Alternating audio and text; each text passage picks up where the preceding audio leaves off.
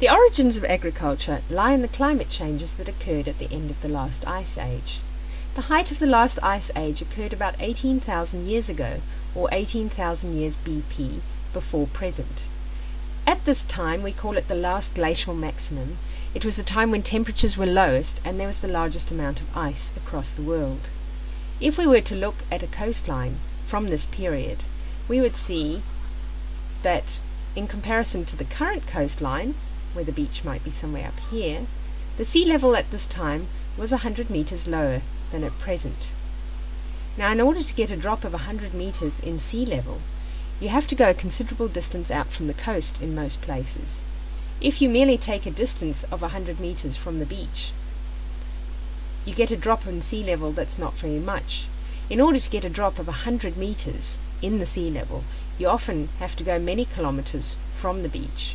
And as a result of the sea being so dramatically lower, there was a lot of land that was exposed and available for people to live on that wasn't there um, at other time periods and particularly isn't there today.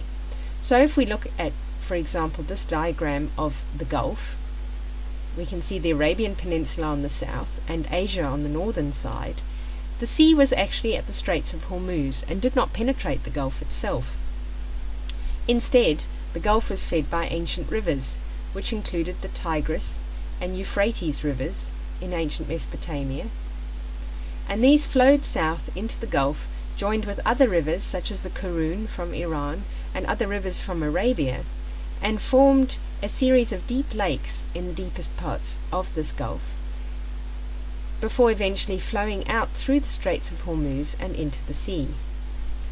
This valley would have been ideal living conditions for people because there was a lot of water. It was a well watered valley which would have encouraged plants to grow and in turn lots of animals to live there and thus provided lots of resources for ancient humans.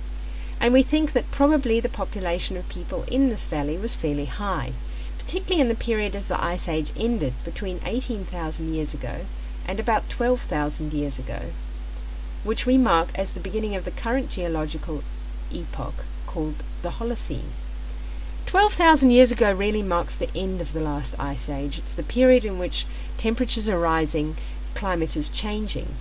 And thus, this would have been a very favorable place for people to live with these warmer temperatures and lots of resources available. Over the next several thousand years, between 12,000 years ago and 4,500 years ago, there were significant climate shifts that occurred in conjunction with the end of the last ice age. There were different periods in which these climate shifts occurred. For example, there was an alternation between periods we call pluvials, in which temperatures were a lot higher, it was a lot warmer, there was a lot more water about, the ice caps were melting, and thus there was a lot more rain. In between these were centuries where it was drier again, and the climate was very arid, and there wasn't much rain. And so in these times, plants and animals struggled. What we find is with these alternating pluvials and arid periods, we have periods where the sea levels are rising quite fast and flooding, and so at some point the sea breaks through into the Gulf at about 10,000 years ago and starts to flood these lakes in the bottom of the Gulf. It continues over time as these wetter periods occur and so at different times there were these large flooding events. There'd be several centuries where the water was flooding in almost every year and reducing the land area available. Until eventually, at about four and a half thousand years ago, the sea level was actually two meters higher than it is today, and some areas of of ground that are today um, free of water would have been flooded in that time period, and this would have impacted the coastline dramatically until eventually the sea level settled down again to its current levels. Now, if we look at the populations and the effect of these climate changes on people during these thousands of years, during these millennia that it happened, it must have seemed relentless. Every few centuries, there were these great flooding events where their former homes, areas where they'd been able to find lots of resources and live quite comfortably, were now flooded, and people were forced to flee from these continual floods, and to seek higher ground, and to flee up into the surrounding land where the ground was higher and where they could get away from these flood waters.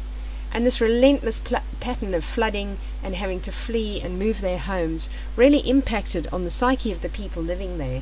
So much so that in ancient Sumeria, in the area of the Tigris and Euphrates rivers, we see in the earliest cuneiform, cuneiform tablets accounts of these terrible flood stories, floods which came from um, people didn't know where and continued for years and years at a time when the land was inundated, when they lost everything and they lost their homes and they were forced to flee. And patterns of this recurring over and over again, these terrible floods that eventually inundated their whole world. And this was occurring around the planet at this time.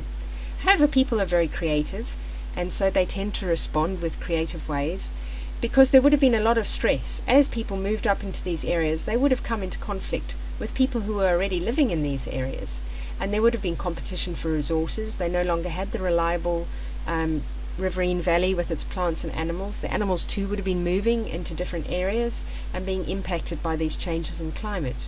And as a result, people were really struggling to get through these arid periods in between the flooding. So they had periods of, rain, but then there was lots of flooding, and periods when it was arid and conditions were very difficult. As a result, um, of this, people were forced to become very creative, and one of their creative responses was to ve- develop pottery. At about 9000 BC in the Levant, we can see pottery such as that pictured here. And the advantage of pottery was that not only could people store food into coming years for periods when it was harder and when the climate was not as favorable, but they could store the seed and the tubers, which would enable them to actually plant plants if the if the um, plants didn't manage to procreate themselves. So in the years that it was hard, people could intentionally plant and um, thus ensure their food resource into the years where it wasn't so favorable. And in a similar fashion, they could actually select individual animals who had characteristics that were useful to people, and they could take the young from these animals, particularly individuals that were do- docile and had other favorable characteristics, and they could actually feed them from their stores of food and that helped the animals survive through the harsh periods as well. In the years that were good that they could select good food, they would select the prime specimens, the largest plants with the largest um, fruit and other resources.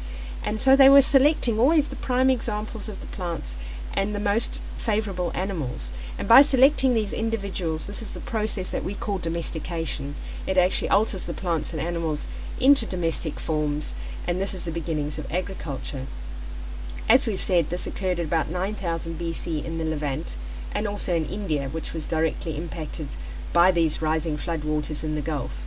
We can see it at 8000 BC in Egypt, and probably people would have learnt through their trade networks of what was happening in the Levant, and thus would have gained some ideas of domestication from that.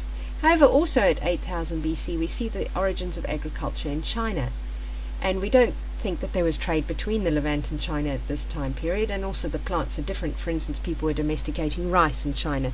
So this would have been an independent development. Faced with the same sorts of climatic change, people in China independently developed the same ideas of domestication. We can see that by 7000 BC, domestication has spread into the Mediterranean in places like Greece and Cyprus. Now, Greece and Cyprus, we know, were connected through ancient maritime trade networks with the Levant and with Egypt, and so as well as transferring the trade items such as pottery and obsidian, people would have actually transferred the ideas of domestication from one person to another. We can see that by 5000 BC, agriculture has reached Europe, and that by 4000 BC, it has reached Mesoamerica. Well, actually, we think that in Mesoamerica, once again, it was an independent discovery. We know that in Mesoamerica, people spent a thousand years developing maize from a couple of other plants, from a very small plant to a large ear of maize that we know today. And this would have been an independent um, development, again in response to these changing climate conditions. And thus, people with their creative response to stress have actually used conditions that were quite harsh and impacted on their lives in various ways in order to advance technologically and develop creative ways of dealing with these conditions and thus the origins of agriculture grow out of this period of great technological change and climate stress.